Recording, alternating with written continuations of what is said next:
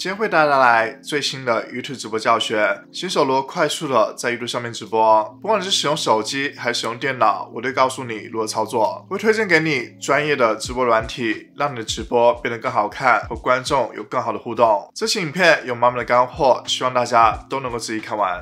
Hello，大家好，欢迎回到频道，我是 Grayson。认同 YouTube 频道，在网上找到这个品牌，欢迎订阅频道，完全免费的。直接把旁边小灯打开，就能够接收到最新片通知了。因为在底下描述栏也能够找找到很多精妙使用工具。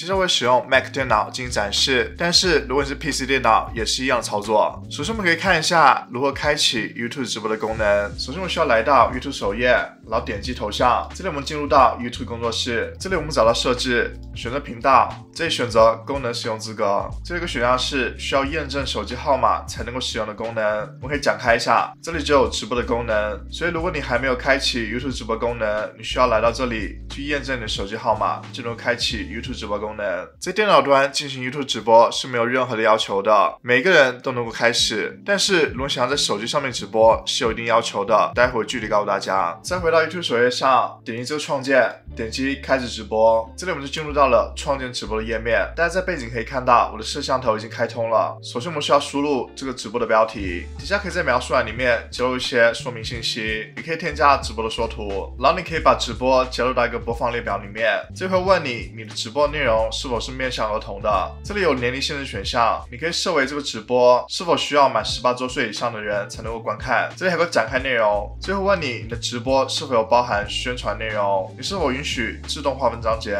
是否允许显示店的信息。这里你可以加入一些标签，去让你直播更好的被观众搜索到。然后你也可以添加录制直播的地点，这可以让选择评论的审核，然后选择继续。如果你的频道已经开通盈利，你可以在这里开启广告盈利，然后可以选择继续。这里会有自定义直播的设置，例如说你可以选择实时聊天、实时重放，然后就是参与者模式，谁可以发送信息，你可以选择所有人、订阅者，或者是只有会员可以发送信息。你可以选择消息延迟，例如说六十秒的延迟或者更长时间。你可以使用最新的功能，就是转播的功能，你可以引导观众在看完了直播之后去看下一个直播。你也可以添加直播的预告片，它的长度可以为十五秒到三分钟。然后我们选继续，这里是直播的公开范围，你可以选择思想不公开列出，只有会员可以看这直播，或者是完全的公开。在这底下也可以安排直播时间，在这里可以选日期，在这里可以选时间。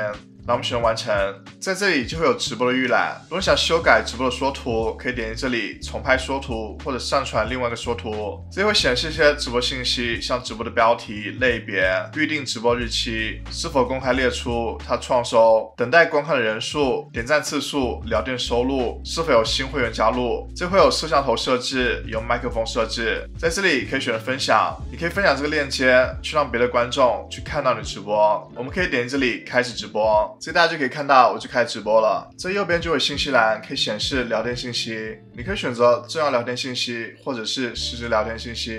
然后在底下就可以选择发送聊天信息，这里可以加入一些表情包，这里会有很多表情包。第二个选项就可以发送超级贴图或者超级留言。第三个选项就是可以创建投票活动。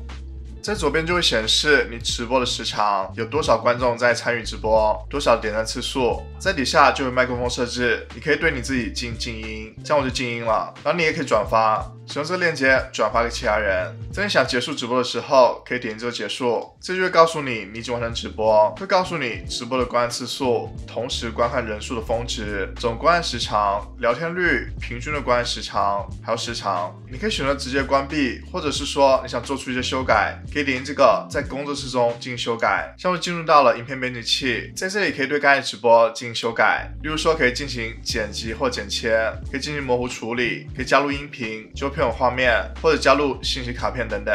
在做完修改之后，你就可以发布到 YouTube 频道里面，让其他观众观看。这里给大家展示一下，如果想用手机进 YouTube 直播，你需要达到什么样的条件？首先，你需要达到至少五十名订阅者，并且在九十天之内没有收到任何限制直播功能处分，并且像电脑端一样，你需要验证你频道，并且启用了直播的功能。如果是第一次直播，你可能需要等待二十四小时。对于安卓手机用户，你需要达到五点零以上的版本。对于苹果手机用户，其他的条件都是一样的。对版本的要求，你需要达到 iOS 八以上。这里我们需要注意，如果你的订阅人数没有到一千人，YouTube 只会把你的直播展示给少数的观众，并在结束直播之后，你影片的存档也会被预设为私人的影片。当你的订阅人数达到一千人之后，你也需要等待一段时间，才能够完全使用所有的权限。我们想在 YouTube 上面直播，你首先需要来到 YouTube App，然后点击这个中间加号，这里我们有一个选项就进行直播，现在可以输入一些直播信息，例如可以输入标题。然后可以选择公开范围，可以选择公开或不公开。然后你可以加入直播地点，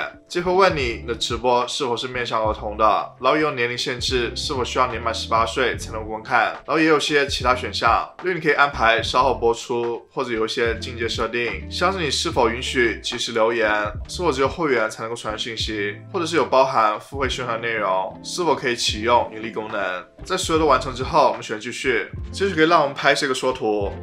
在拍完缩图之后，就可以进行直播，就进入到了直播页面，在左上角就可以显示我直播时间有多少人参与了直播，并且直播点赞次数。在左下角，第一个选项就是翻转的摄像头，第二个就是有聊天室浏览选项，你可以选择重点聊天信息、聊天室、超级留言或者隐藏所有的信息。第三个就是滤镜，你可以选择不同滤镜。